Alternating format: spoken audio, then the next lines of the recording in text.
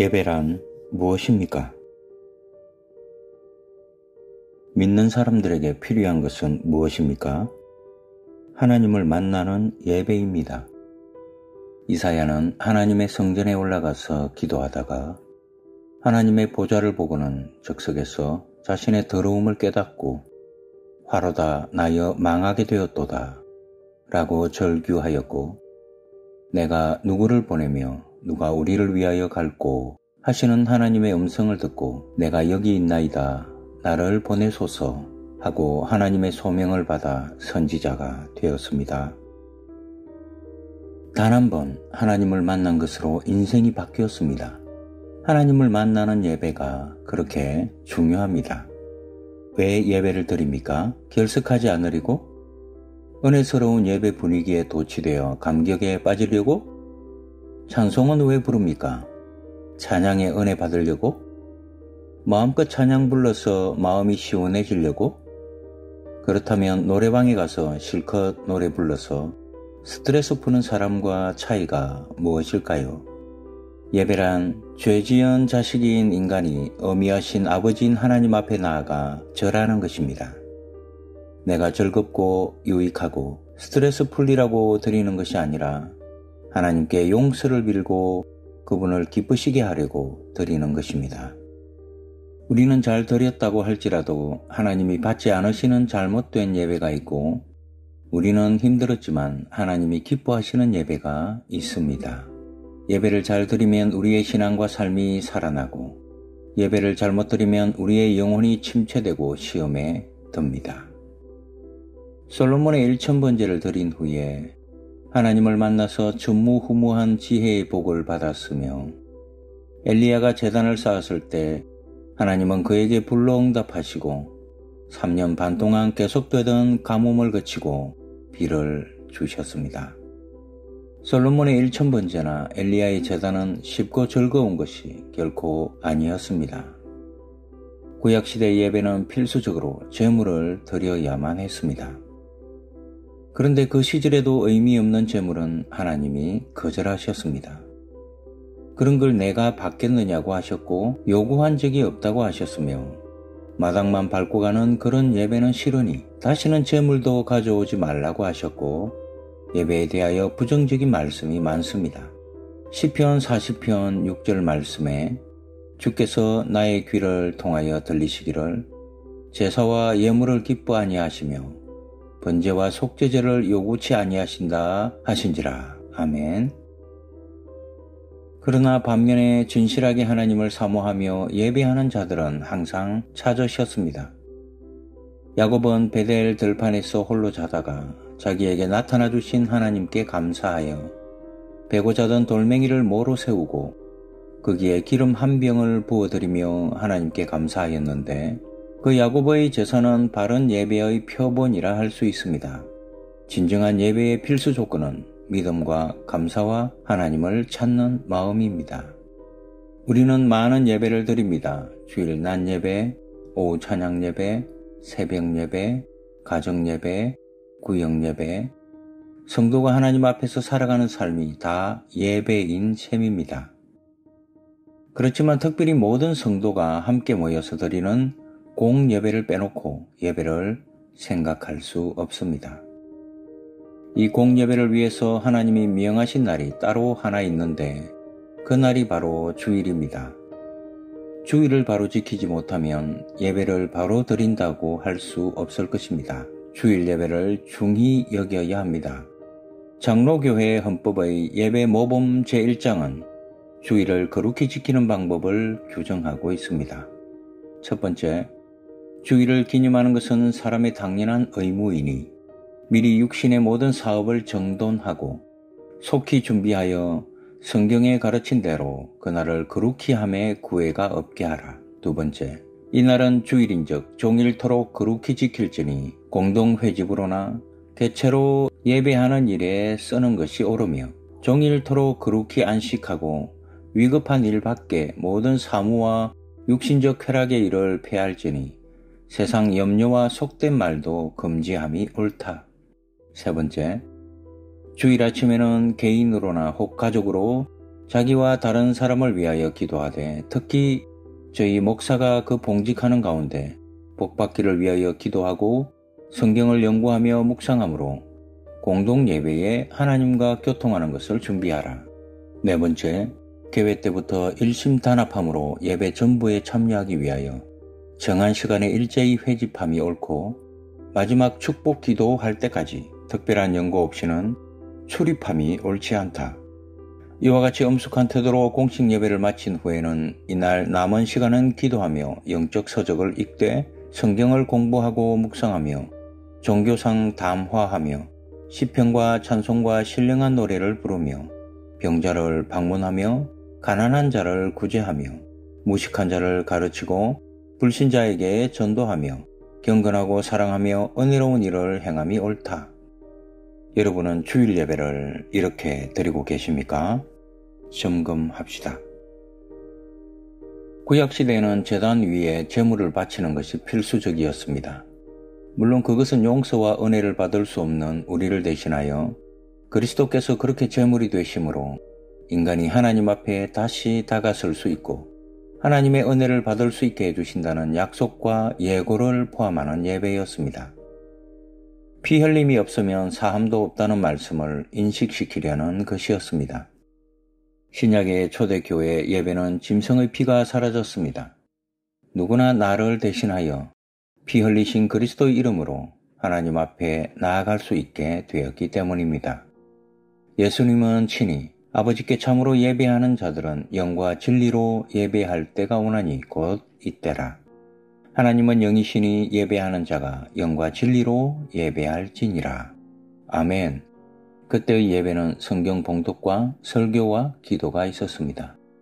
예수님께서 회당에 들어가시면 성경을 읽고 그것을 설명하는 설교를 하시곤 하였으며 사도들도 자연스럽게 설교를 통해서 주님의 교훈을 다시 듣고 다짐하는 설교 중심의 예배를 드렸습니다.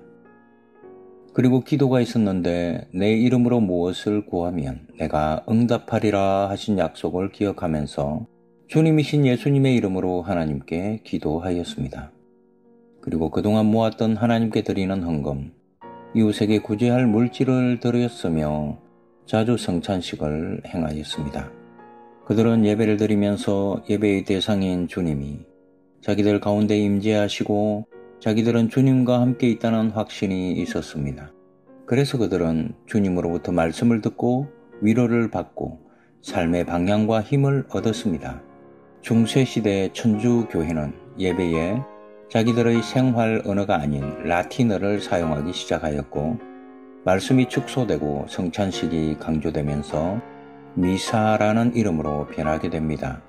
그리고 미사는 오직 성직자만 집전할 수 있게 함으로써 평신도와 하나님과의 거리를 멀게 만들었으나 종교 개혁이 이를 바로 잡았습니다. 예배 순서의 핵심은 믿음입니다. 믿음이 없는 예배는 죽은 예배이고 예배가 죽으면 기독교는 사라집니다. 기도도 응답을 믿고 기도하는 것이고 찬양도 내 찬송을 받으시는 하나님이 내 앞에 임재하심을 믿고 찬송하는 것입니다. 믿음이 없이는 기쁘시게 못하나니 하나님께 나아가는 자는 반드시 그가 계신 것과 자기를 찾는 자들에게 상 주시는 이심을 믿어야 한다고 하셨는데 믿음이 없는 사람들을 돈을 주고 사와서까지 성가대 음악의 질을 향상시키려는 노력들을 하고 있는 모습은 누가 찬송을 듣는 장본인인지를 분명하게 드러내는 것으로 경계해야 할 일입니다. 찬송은 우리가 들으려고 부르는 것이 아니라 저 높은 곳에 계신 하나님께 드리는 제물입니다. 예배란 하나님께 나아가는 것, 하나님을 만나는 것이 목적입니다. 기도를 통해서, 찬송을 통해서, 말씀을 통해서, 금식을 통해서, 성찬을 통해서, 헌금을 통해서, 권증을 통해서 하나님이 우리 가운데 임재하여 함께 계신다는 것을 체험하는 것이 예배입니다. 하나님은 영이어서 우리 육신의 눈으로 볼 수는 없지만 그분은 성도가 예배할 때 거기 와 계신다고 하셨으니 지금도 틀림없이 여기에 계십니다. 마태복음 18장 20절 말씀에 두세 사람이 내 이름으로 모인 곳에는 나도 그들 중에 있느니라 라고 약속하셨습니다. 지금 여기에서 우리의 찬송을 받으시고 우리의 기도를 들으시며 우리와 함께 계시다는 것을 믿으시기 바랍니다. 그런 믿음으로 우리는 하나님 앞에 나아가는 것입니다. 그런데 아담과 하와가 죄 지은 후에 하나님의 낯을 피한 것처럼 이 시대 사람들도 하나님을 떠나서 살려고 합니다. 자기를 지으시고 생명과 모든 좋은 것을 주시는 하나님을 자꾸 벗어나려고 하는 존재가 인간입니다. 이것이 불행의 원인입니다. 이 시대의 뉴 에이지 운동은 하나님 시대가 20세기와 더불어 이미 끝났고 새로운 인간 중심의 시대가 열렸다고 주장합니다. 이런 영향으로 사람들은 점점 더 하나님에게서 멀리 떠납니다. 예배를 드린다고 하면서도 하나님은 밀어내고 사람이 중심이 됩니다. 자기들의 편리와 취향을 따라서 예배를 드립니다. 그 결과로 예배는 드리지만 열매가 없습니다. 사람은 고독한 존재입니다. 사람은 왜 항상 고독감을 느낄까요? 아무리 좋은 것을 가졌어도 왜 만족하지 못하고 또 무엇인가에 갈증을 느낄까요? 그것은 인간이라는 존재가 본래 하나님과 함께 살도록 만들어진 존재이기 때문입니다.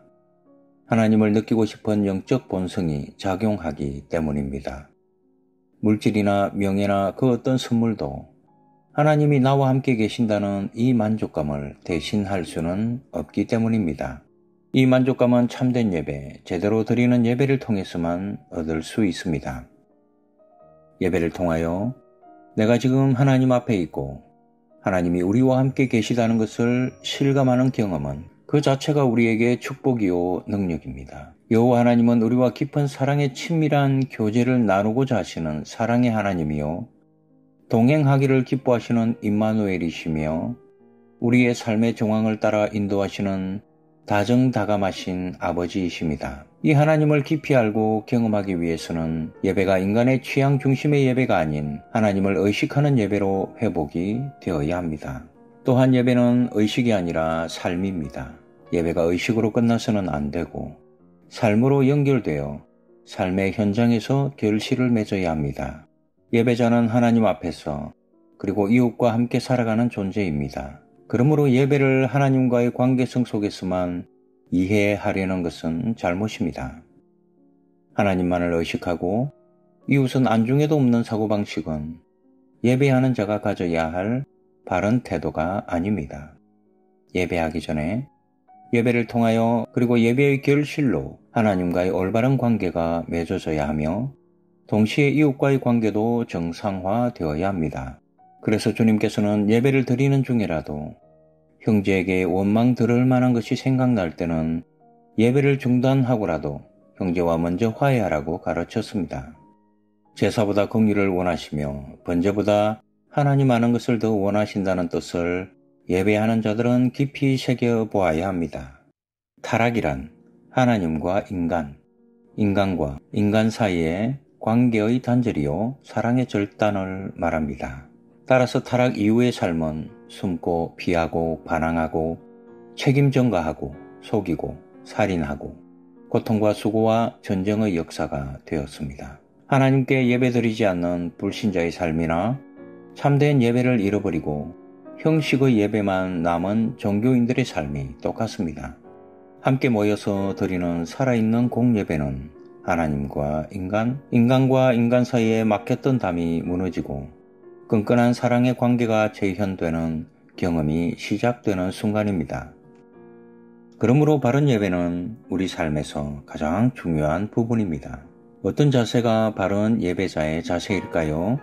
어떤 바리새인이 예수님을 자기 집에서 식사를 함께 하시자고 초청하는 성경 구절이 있습니다. 흔하지 않은 일입니다. 보통 바리새인들은 예수님을 비난하는데 열을 올리지만 이 사람은 예수님을 자기 집으로 초대한 것입니다. 주님은 기꺼이 그 집에 가셨습니다.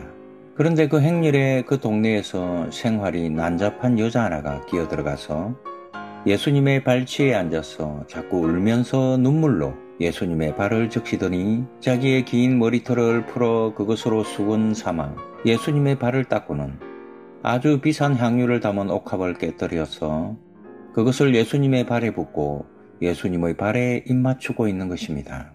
그래서 바리새인이 말은 못하고 속으로만 이 사람은 선지자가 아니구나. 만약 선지자였더라면 저 여자가 얼마나 더러운 여자인 줄 알고 저 짓을 못하게 하였을 텐데 가만히 있구나 하고 생각하고 있는데 주님께서 그 마음을 다 아시고 바리새인에게 말씀하십니다. 시몬아 내게 질문 하나 하자. 한 부자에게 두 사람이 빚을 졌는데 한 사람은 50데나리온을 졌고 한 사람은 500데나리온을 빚졌다. 둘 다 사정이 딱한 것을 알고 둘 다 탕감하여 주었다면 둘 중에 누가 더 고마워하겠느냐? 바리새인이 대답합니다. 많이 탕감을 받은 사람이겠지요. 예수님께서 이렇게 말씀하십니다. 그래, 내 말이 맞다. 저 여자를 봐라. 내가 내 집에 들어올 때 너는 내게 발 씻을 물도 주지 않았지만 이 여자는 눈물로 내 발을 적시고 그 머리털로 씻었으며 너는 내게 입맞추지 아니하였으되 저는 내가 들어올 때로부터 내 발에 입맞추기를 거치지 아니하였으며 너는 내 머리에 감람유도 붓지 아니하였으되 저는 향유를 내 발에 부었느니라. 이러므로 내가 내게 말하노니 저의 많은 죄가 사하여졌도다. 이는 저의 사랑함이 많음이라. 사함을 받은 일이 적은 자는 적게 사랑하느니라 이에 여자에게 이르시되 내 죄 사함을 얻었느니라 내 믿음이 너를 구원하였으니 평안히 가라 하고 돌려보내셨습니다. 참 예배자의 태도가 무엇인가를 잘 보여주고 있죠. 바리새인은 예수님을 자기 집에 초대하여 대접했습니다. 그러나 마음을 다해 대접한 것이 아니었기에 인정받지 못하였습니다. 그는 예수님께 밥 한 그릇 대접하고서 자기 낯을 내려는 사람이었습니다. 남들이 볼 때 그는 예수님을 대접하는 사람입니다. 그러나 그는 예수님을 믿는 사람도 아니고 예수님을 사랑하는 사람도 아니었습니다. 오늘로 말하면 예수 믿는 채 하는 사람의 대표입니다. 당시 손님이 오면 반갑게 볼에 입을 맞추어 인사를 했으며 문간에서 종을 시켜서 손님의 발을 씻어드리는 것은 당연한 예의였습니다. 그런데 그는 그런 기본적인 것조차 해드리지 않았습니다. 주님을 사랑하지 않기 때문입니다. 주님을 사랑하지 않으면서 체면치레로 자기 가족의 등살에 못 이겨 억지로 교회 다니는 사람이 있습니다. 옷차림도 함부로 입고 다니고 샌들을 끌고 오기도 하고 항상 늦게 옵니다. 주님을 만난다는 의식이 없고 주님을 사랑하고 존경하는 마음이 없기 때문입니다. 그리고 이 바리새인은 관철자, 비판자였습니다. 이 사람이 누굴까? 정말 선지자일까? 아, 선지자가 아니로구나. 저 여자도 몰라보다니. 이것이 그 사람이 주님을 모시면서 했던 생각의 전부입니다. 오늘도 관찰자 비판자들도 교회에 다닙니다. 주님을 만나러 오는 것이 아니라 관찰하러 옵니다. 나의 창조자, 나의 생명의 주인께 경배와 찬양을 드리러 오는 것이 아니라 관찰하러 옵니다. 누가 나에게 친절하게 하나 안 하나, 성가대가 찬양을 잘하나 못하나, 이 교회는 왜 이렇게 친절하지 않아? 저 사람의 옷차림은 저게 뭐야? 이렇게 관찰하러 오는 사람들이 적지 않을 것입니다. 그런데 그렇게 관찰해서는 얻어지는 것이 없습니다. 시간만 손해볼 뿐입니다. 주님께 경배하는 사람이 되시기를 바랍니다. 그에 비하여 여인은 부정하고 엄란한 일을 했던 여인입니다. 이 사람은 진심으로 주님을 만나고 싶었고 자기 마음을 드리고 싶어서 소중한 향유를 깨뜨려 바쳤습니다. 이 여인은 비싼 옷과 보석으로 치장하고 최고급 향을 가지고 살던 여자입니다. 값비싼 물건을 가지고 있으며 남들이 나를 무시하지 못할 것이라는 생각으로 양심의 가책과 남들의 눈총을 소유로 메워보려고 했던 여인입니다. 그가 주님께 부은 나드 향은 로마의 귀부인들이 나갔는 엄청난 고가품입니다. 그것은 한 번에 깨뜨려서 붓는 것이 아니라 잘 보이는 곳에 진열하고 과시하는 물건입니다. 그런데 그녀는 그것을 깨뜨려 주님의 발에 부었습니다. 그녀의 마음을 잘 알 수 있죠. 또 그 여인은 울며 눈물로 예수님의 발을 적셨습니다. 자신의 비참함을 토로한 것입니다. 하나님께 예배하러 나아가는 사람은 자기를 감추려는 마음을 가져서는 안 됩니다. 모든 것을 내어놓고 솔직하게 자신의 형편과 처지를 아려야 합니다. 그는 자기 눈물로 젖은 예수님의 발을 자기 머리를 풀어 닦아 드렸습니다. 머리는 여자의 자존심입니다. 여자 선거님 중에 자신의 머리로 남편의 발을 씻어준 일이 있었습니까? 그런 여자는 거의 없을 것입니다. 이 여자가 예수님을 얼마나 존경하는지를 알 수 있는 장면입니다. 서양 사람들은 인사로 입을 맞춥니다. 사랑하는 사람끼리는 입을 맞추지만 귀여운 아이에게는 이마나 볼에 키스를 합니다. 그리고 존경하는 이에게는 손등에 키스합니다. 그러나 발에 키스하는 사람은 이 세상 그 어디에도 없습니다. 그런데 이 여인은 주님의 발에 입을 맞추되 예수님이 들어오시는 순간부터 계속 하고 있습니다. 미친 사람처럼 보였을 것입니다. 그런데 이 여자가 그렇게 한 이유가 무엇일까요? 예수님이 자기의 죄를 사해 주신 것을 감사했어이고 자기의 생명의 주인이시고 하나님이라는 것을 믿고 최대의 경외를 드리기 위해서였을 것입니다. 이 사람이 참 예배자의 모범입니다. 지금 우리는 하나님께 예배를 드리고 있습니다.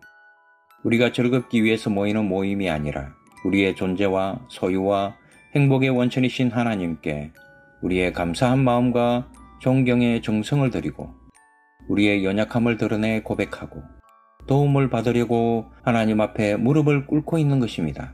이때 우리에게 꼭 있어야 하는 것은 믿음과 감사와 하나님을 사모하는 마음입니다. 예배 때마다 하나님을 만납시다. 믿음과 감사로 그분을 만납시다. 무릎을 꿇고 경배합시다. 마음을 열어 진실한 감사와 사랑을 고백하며 찬송을 드립시다.